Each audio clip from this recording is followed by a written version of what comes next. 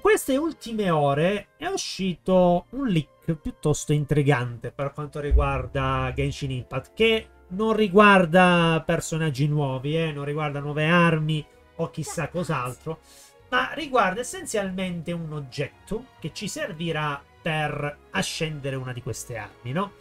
Che sinceramente non ricordo nemmeno qual è, però a prescindere da questo è un oggetto che tu potrai farmare. E da qui sono nate una miriade di teorie e quant'altro che potete trovare su Reddit, su YouTube, su Twitter soprattutto. Perché di che cosa riguarda questo, questo leak? Riguarda essenzialmente la delusion, o meglio le delusion. Perché se vi ricordate, eh, le delusion sono essenzialmente una sorta di vision eh, creata dai Fatui, dalla Zarisa, eh, che ha un pochino gli stessi poteri perché tu sei in grado di manipolare i vari elementi che ci sono su Tevat. Ora, ovviamente l'utilizzo di queste delusion è molto particolare perché porta essenzialmente degli effetti collaterali. Infatti, se vi ricordate di Nazuma c'era quel personaggio, quell'NPC di eh, Teppei, se non mi ricordo male, che era essenzialmente morto dopo aver utilizzato la, la delusion. Mentre invece poi ci sono altri personaggi, come per esempio di Luke, che utilizzano la delusion senza alcun tipo di effetto collaterale Molto probabilmente perché lui è un personaggio che possiede una vision, quindi è un umano, ma a tutti gli effetti è come se fosse una sorta di superumano, insomma, un sovrumano, qualcosa del genere, no? Cioè non ha le stesse caratteristiche di una persona normale.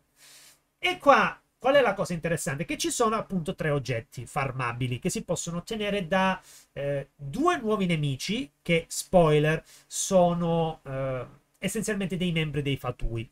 Non dei Fatui Harbinger, ovvero i messaggeri dei fatui, perché quelli sono un'altra cosa. Già questo si è creato una sorta di discussione veramente molto stupida su Twitter, che le persone credevano che i fatui erano solamente i fatui Harbingers. Non è così, gente. Cioè, veramente alcune volte io mi chiedo, ma come cavolo lo giocate a Genshin? Cioè, i membri dei fatui sono anche quelli che tu sconfiggi nell'open world. Ma credo che sia abbastanza ovvio. Però se dobbiamo specificare anche questo, cioè, veramente. Però insomma, questi nuovi membri dei Fatui, che sono degli operatori, operativi, non so nemmeno io come definirli, operators, mi pare che c'è scritto in inglese, sono veramente molto interessanti a livello di design, che però non vi posso far vedere per problemi appunto di copyright. E appunto uno dovrebbe essere, se non mi ricordo male, di Crio, l'altro di Anemo, e e sono sic sicuramente dei personaggi nuovi, dei nemici nuovi che vedremo appunto nell'open world. Ora, che cosa droppano questi nemici? Vanno a droppare queste cose qua. Ovvero questo orologio da tasca dei Fatui, che spoiler, questo è il simbolo dei Fatui. Anche su questo la gente ci aveva visto, ah, ma quindi la delusion o comunque questo piccolo orologio ha un, essenzialmente un'icona di un elemento. No, gente. Io mi meraviglio che a distanza di tre anni ancora non vi eh, ricordate nemmeno quali sono i simboli degli elementi. Questo non è un simbolo di un elemento, è il simbolo de dei fatui, dell'organizzazione dei fatui. Però ti ripeto, la gente molte cose non le sa, evidentemente. A parte questo, vi faccio vedere appunto che questo è un oggetto che tu puoi droppare da questi operativi dei fatui, come c'è scritto anche qua questo preso da Project Amber e, e, appunto ci sono tre versioni di questo, uh, di questo oggetto. Questa è la versione standard essenzialmente quella verde. Questa qui è la versione blu che già come vedi è un pochino più particolare il simbolo è anche eh, blu scuro, essenzialmente perché è quello appunto il simbolo dei fatui. E qua che cosa ti va a dire in più rispetto all'oggetto normale? Che se tu li utilizzi troppo cominciano a farsi dei graffi o qualcosa del genere. Quindi, dato che non sono degli orologi da tasca eh, tranquilli da utilizzare, molte persone o non li usano a tutti gli effetti o quantomeno se li mettono proprio se li vanno ad attaccare tipo sul, sul vestito o qualcosa del genere. Ok? Però appunto, fin qua tu dici, va bene, è un oggetto, lo prendiamo per quello che è, ha il simbolo dei fatui, è un semplice orologio da tasca.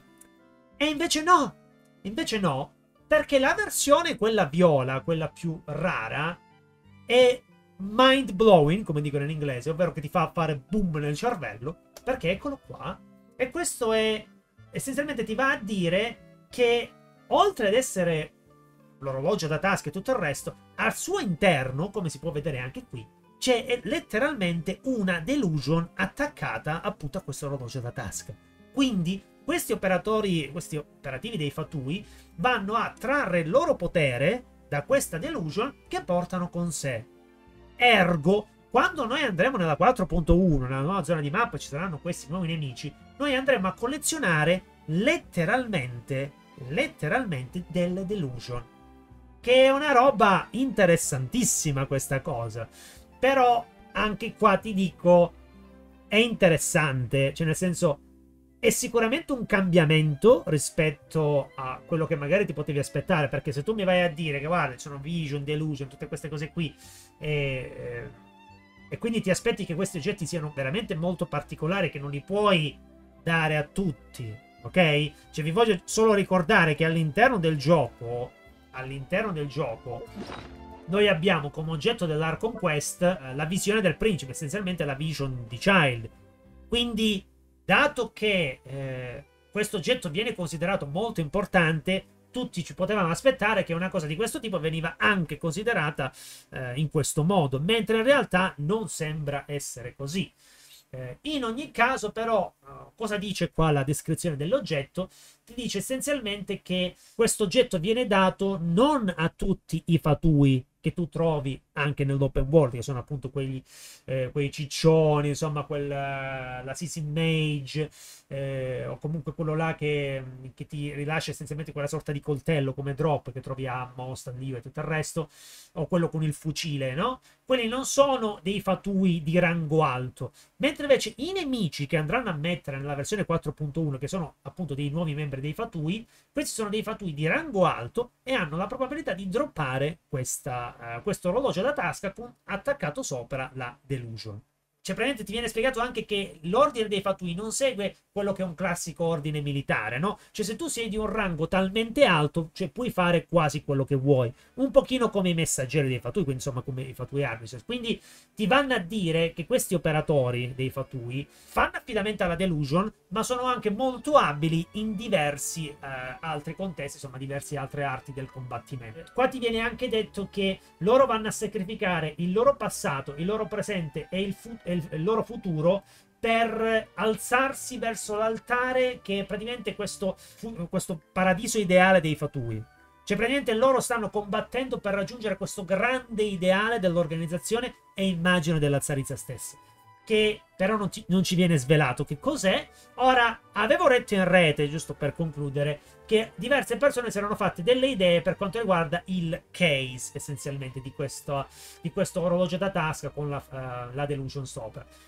Ora, mi dispiace rovinare le teorie di tante persone perché, a quanto mi pare di capire, ci sono persone su Twitter e su Reddit che campano di queste cose, evidentemente, che già avevano detto, ah, quindi confermato il case della delusion è fatto in questo modo, quindi probabilmente anche la, eh, essenzialmente la visione di Child ti va a confermare che non è una visione a tutti gli effetti, potrebbe essere una delusion. Cioè, Dio mio, gente, ma datevi una calmata nel fare tutte queste teorie. Non abbiamo la conferma di niente, di niente. Cioè, per quale motivo la visione di Child e anche questo orologio da tasca con la delusion ha essenzialmente questo case che è quasi identico? Per quale motivo? Perché i fatui vengono da Shesnaya, ok? Quindi dato che Child è di Shesnaya, le due cose hanno lo stesso case. Tutto qui. Cioè, inutile vederci sempre l'ago nel pagliaio o chissà che cosa. Magari in futuro ti andranno a confermare chissà che cosa. Ma al momento il case che tu vai a vedere delle varie vision e tutto il resto ti va solamente a confermare l'origine del personaggio. Tutto qua. Anche quella di Scaramouche, giusto per dire una roba a caso, ha il case di Sumeru, quando lui in realtà è di Inazuma, o quantomeno magari puoi dire che ha vissuto a Shesnaya per tanto tempo, ma dato che la visione l'ha ricevuta uh, appunto a Sumeru, evidentemente il case che gli è arrivato è quello. Cioè, capito? Cioè, ok fare delle teorie, ma se non abbiamo confermato praticamente nulla, cioè, non, non, capisco perché dobbiamo sempre stare qui a farci 3000 giri mentali su cose che magari sono messe solamente così a livello decorativo, eh. giusto per, giusto per, pure per, far, per quanto riguarda questo, ho trovato questa immagine in rete delle probabili eh, Vision con eh, il case essenzialmente di Cesnaia o, o comunque, anzi no, non delle Vision ma delle Delusion eh, però appunto giusto per darvi un'idea e per ritornare anche al manga di Genshin Impact le Delusion anche se hanno un colore non vanno ad indicare l'elemento ok perché questa Delusion che utilizzava il padre di Luke è di colore rosso ma non, ave- non è stato uh, confermato da nessuna parte che questa Delusion aveva il potere del, eh, insomma, di, di Pyro, ok? Quindi ci sono dei, de- delle robe in rete che potete anche trovare, ma appunto non c'è nulla di, di confermato. Però detto questo, detto questo, sicuramente interessante il fatto che questi nuovi nemici della, essenzialmente della 4.1 ci daranno questi vari oggetti sicuramente molto particolari e che, cavoli, cioè, tu, tu pensa nella prossima patch cominciamo a, a letteralmente collezionare le delusion. Così, chi, chi, l'avrebbe mai pensato una cosa del genere? Cioè, sarebbe divertente che magari tu ne ottieni 500 di queste cose e quando arriviamo a Cesnaia le puoi donare alla Zalisa per dire guarda ti ho portato ste robe che rappresentano tutti i tuoi fatui che io ho ucciso. Sarebbe un pochino creepy, ma direi che ci potrebbe pure stare.